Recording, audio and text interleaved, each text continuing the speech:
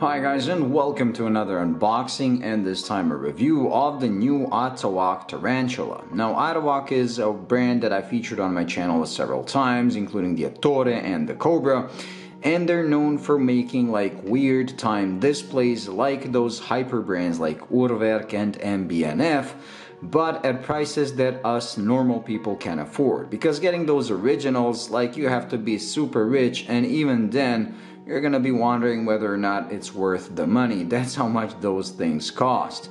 Well, Atowak is bringing that down and their first attempts were pretty simple, straightforward, until they reached Cobra where they actually made a wandering hour system, which was impressive. And I'll put probably a couple of, of, of clips and a link to that full review. And that watch was amazing when it comes to the time display, but sadly it was pretty much unwearable. It was like having a spaceship on your wrist. Not so much the size, but the actual shape and the weight it sit on my wrist.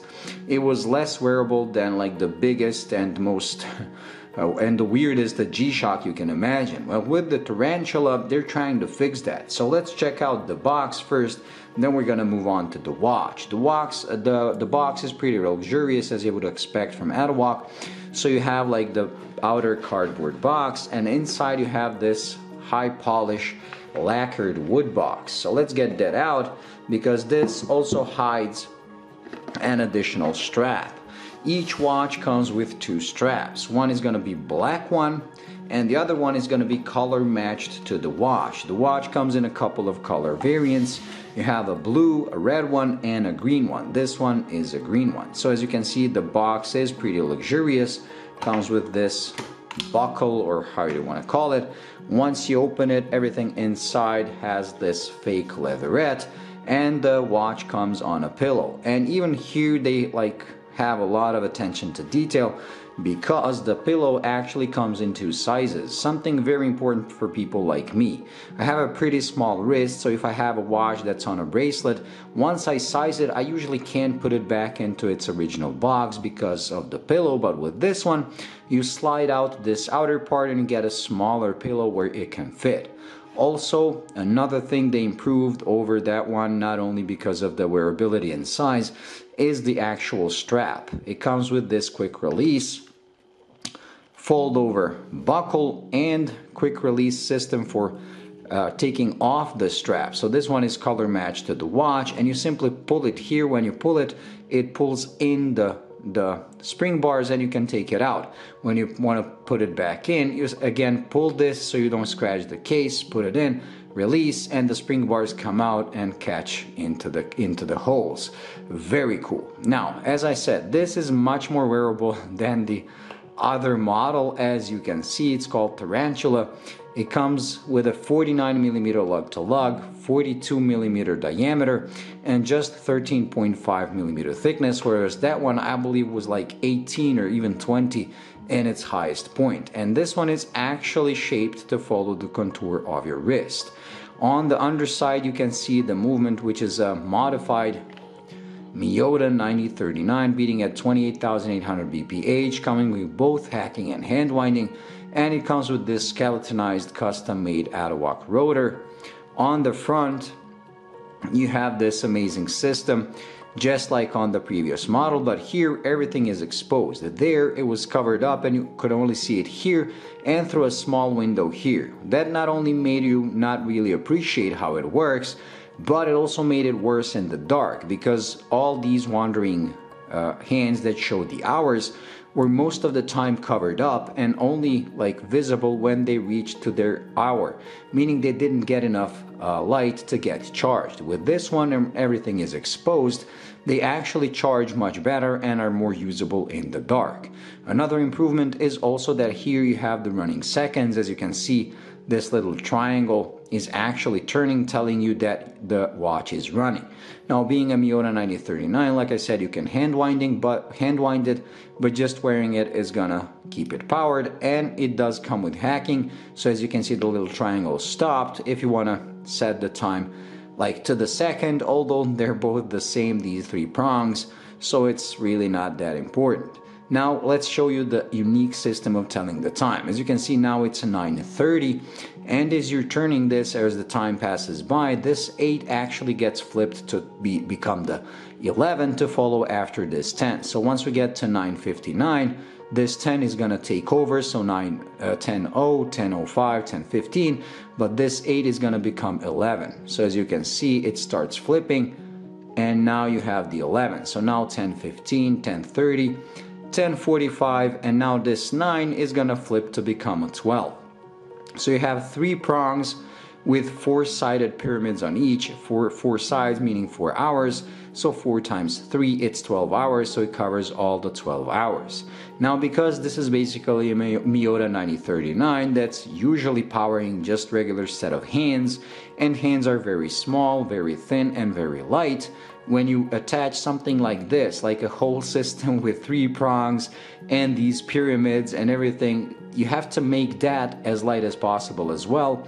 Otherwise, the watch is not going to have enough energy to keep to keep powering this thing. Mm-hmm. So that's why this whole system that you see on the dial is made out of combination of aluminium and carbon fiber to make it as light as possible. So this is not just a cool gimmick to show the time, it's an actual engineering feat and that's why I actually like it.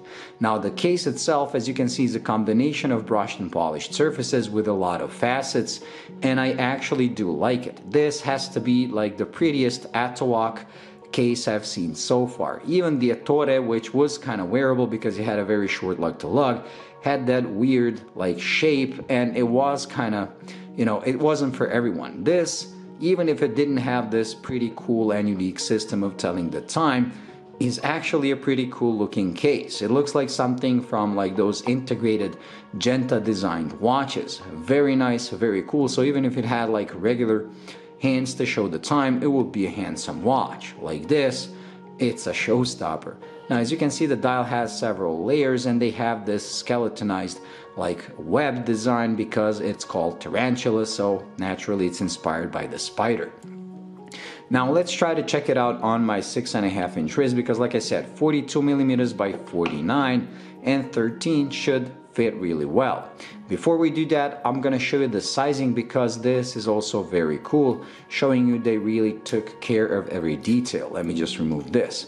So you have this, like I said, quick release system, fold over clasp, and the sizing is done by simply taking this out and sliding it either inside or outside and aligning those two prongs with the holes in the strap. So let's say that this is my size. Once you align it, you press it down like this and you're ready to go.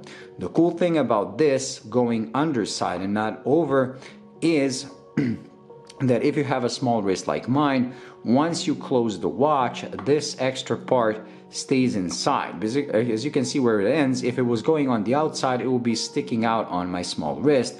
Like this, it's hidden away. It's also a better way of making a rubber uh, rubber strap then doing those things when you have this fold over clasp usually they will have like those where you cut them so once you size your your strap you're pretty much stuck with it if you get fat or something you have to go buy a new one with this one it's usable no matter what size of your wrist is so let's put it on my wrist and we're also gonna do the lume shot okay so here it is on my six and a half inch wrist Thanks to a short lug to lug and a classical shape, it really fits like a glove, looks pretty good. It even wears thinner than the specs would suggest, and the strap is very nice and high quality rubber. It has these vents to help you re release extra like hot air so you don't get as sweaty as you would wearing a rubber strap. It's very comfortable, very pliable.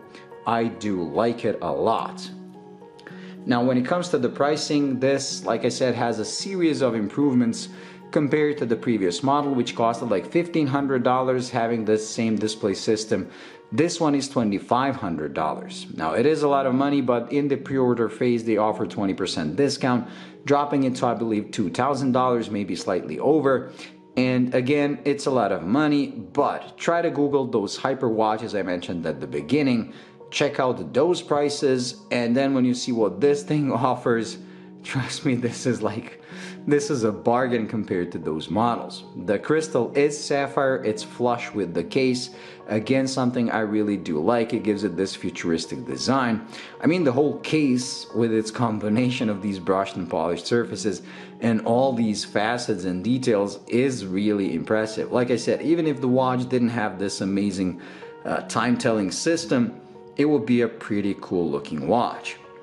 Anyways, let's do a lume shot. We're gonna charge the watch and that's gonna be it for today. Okay, here it is. So with the watch charged, we're gonna let the camera focus and turn off the lights. And there we go. As you can see, the lume is pretty spectacular.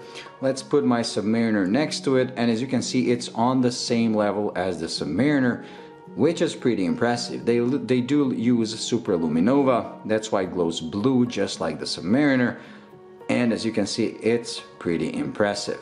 Very nice.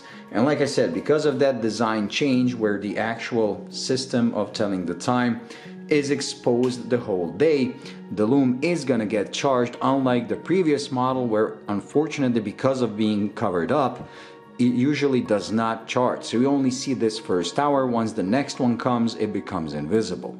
So definitely an improvement over the over the previous models, including the last one.